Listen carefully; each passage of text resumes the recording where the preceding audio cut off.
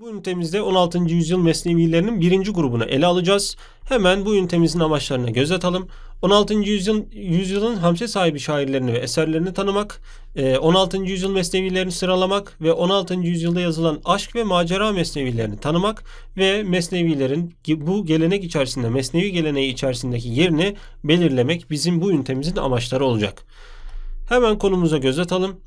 Mesnevilerin bu yüzyıldaki Mesnevilerin genel özellikleri hakkında bazı bilgiler verelim sizlere.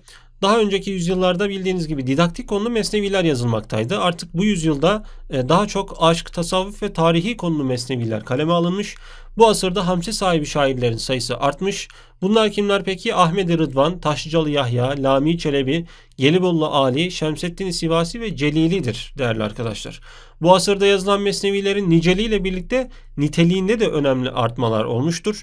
Bu asır mesnevilerin arkadaşlar şekil açısından ve konu açısından oldukça başarılı olduğunu ve mesnevi edebiyatının artık bu dönemde oldukça iyi bir çizgiye ilerlediğini biz görebilmekteyiz. Ahmet Rıdvan'ın mesnevileri İskendername, Leyla ve Mecnun, Hüsrev-i Şirin, Rıdvaniye ve Mahzenül Esrar'dan oluşan hamsesi bulunmaktadır. Ahmet Rıdvan'ın Taşlıcalı Yahya'nın hamsesinden bahsetmiştik. Bu hamsenin mesnevileri neler peki? Gencine İraz, Şahu Geda, Usulname yahut Kitabı Usul, Yusuf Züleyha ve Gülşen-i Envar isimlerindedir.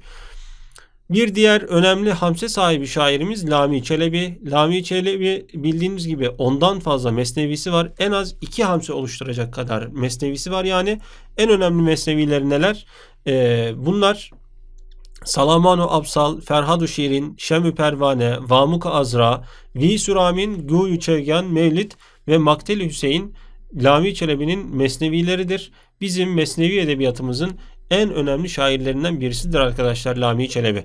Gelibolu Ali'nin mesnevilerinin isimlerini sayalım hemen. Bir önceki ünitemizde de aslında saymıştık bunu. Mihrümah, Tuhfetül Uşak, Riyazus Salikin, Mihrü Vefa ve Camiül Buhur adlı mesnevileri Gelibolu Ali'nin hamsesini oluşturan mesnevileridir. Şemseddin Sivasi'nin mesnevileri nelerdir peki? Mevlidi var, Süleyman Namesi, İbret Nüması, Miratül Ahlak ve Mirkatül Eşfak isimli mesnevileri Şemseddin Sivasi'nin mesnevileridir. Bursal Celili'nin mesnevilerine bakalım. Hüsrev-i Şirin, Leyla ve Mecnun, Hecirname, Mehekname ve Güli Sadberk adlarını taşımaktadır.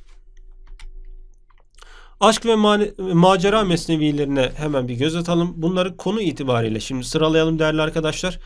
Yusuf-u Züleyha'dan başlayalım öncelikle. Mesnevilerde en çok işlenen konudur Yusuf-u Züleyha. Bildiğiniz gibi e, Yusuf Aleyhisselam'la Yusuf Aleyhisselam'ın başından geçenleri daha doğrusu. Yusuf Aleyhisselam'ın başından geçenleri ele alan bir mesnevi farklı şekillerde ele alınmış tabii bu. Kemal Paşazade, Abdurrahman Gubari, Şerifi ve Taşlıcalı Yahya'nın bu konuyu işlediği mesnevileri bulunmakta. Bu Yusuf Züleyha mesnevilerinin en meşhuru 7777 beyitten oluşan Kemal Paşazade'nin eseridir. Leyla ve Mecnun'a bakalım. İlk kez Genceli Nizami tarafından nazma çekilmiş. Sinan Behişti, Kadimi, Celili, Sevdai, Larendeli Hamdi, Celalzade Salih ve Halife tarafından bu mesnevi kaleme alınmış. Azeri sahasında Fuzuli ve Hakiri bir konuyu nazmetmiş. Tabii ki Leyla ve Mecnun mesnevilerinin en meşhuru Fuzuli'nin eseridir değerli arkadaşlar. Hüsrev Şirin veya Ferhad Şirin başlığıyla e, kaleme alınan mesneviler var. Bu konuyu mesnevi olarak nazmeden ilk kişi Nizami'dir. Hüsrev Şirin şeklinde ele almış. Ahmet Rıdvan'ın Hüsrev Şirin'i var yine Anadolu sahasında. Alişir Nevai ile artık kurgu Ferhad Şirin şeklinde dönmüş ve daha sonra Türk Edebiyatı'nda genelde bu isimle yazılmıştır. Ferhad Şirin şeklinde yazılmıştır. Harimi ve Lami Çelebi'nin Ferhad Şirin isimli mesnevileri bulunmaktadır 16. yüzyılda arkadaşlar. Yine bu yüzyılda yazılan diğer bir mesnevi Şem'ü Pervane. İlk defa Ehli Şirazi nazma çekmiş bunu. Lami Çelebi, Muidi, Zati'nin bu isimde bir mesnevisi var. Ee, aslında Zati'nin eseri farklı bir mahiyette, farklı bir şekilde kurgulanmış olmasına rağmen Şem-ü Pervane mesnevilerinin en çok ilgi göreni olmuştur. Gülü Bülbül Mesnevisi var. En çok sevilip beğenilen Gülü Bülbül Mesnevisi Kara Fazli tarafından kaleme alınmış. İznikli Bekai'nin de yine bu isimde bir mesnevisi var arkadaşlar. Vamuka Azra isimli bir mesneviden bahsedeceğiz şimdi de. Lami Çelebi'nin ve Manisalı Camii'nin bu isimde mesnevileri var. Unsuri'den tercüme edilmiş ancak Lami Çelebi'nin yaptığı çeviri arkadaşlar tercümeden ziyade kesinlikle ama kesinlikle telif mahiyettedir. Hem hacmi açısından hem üslup açısından Lami Çelebi'nin Vamuk Azrası önemli bir mesnevidir. Salamanu Absal mesnevisi var. Yine Molla Camii'den tercüme eden Lami'nin e, bu eseri bizim edebiyatımızda tek bu isimle yaptığı katkılarla Lami Çelebi bu eseri telif mahiyetli bir mesneviye çevirmiştir. Türk Edebiyatı'nda Salamanu Absal'ı Lami Çelebi'den başka yazan isim de olmamıştır değerli arkadaşlar. Şahu Geda isimli bir mesneviden bahsedelim şimdi de. İlk defa Hilali tarafından nazma çekilmiş. Bu konu Bursalı Rahmi ve Taşlıcalı Yahya'nın Şahu Geda isimli mesnevileri var. Taşlıcalı Yahya'nın mesnevisindeki yerli çizgiler, özellikle İstanbul'dan bahseden yerli çizgiler ve ilahi aşkın yüceltilmesi meselesi dikkate değer özelliklerdir. Cemşid-i Hurşit mesnevilerinden bahsedelim. Bu konuyu Abdi mesnevi şeklinde kaleme almış. Hubbi Ayşe'nin yazmış olduğu Cemşid-i Hurşit adlı mesnevi ise ele geçmemiştir henüz.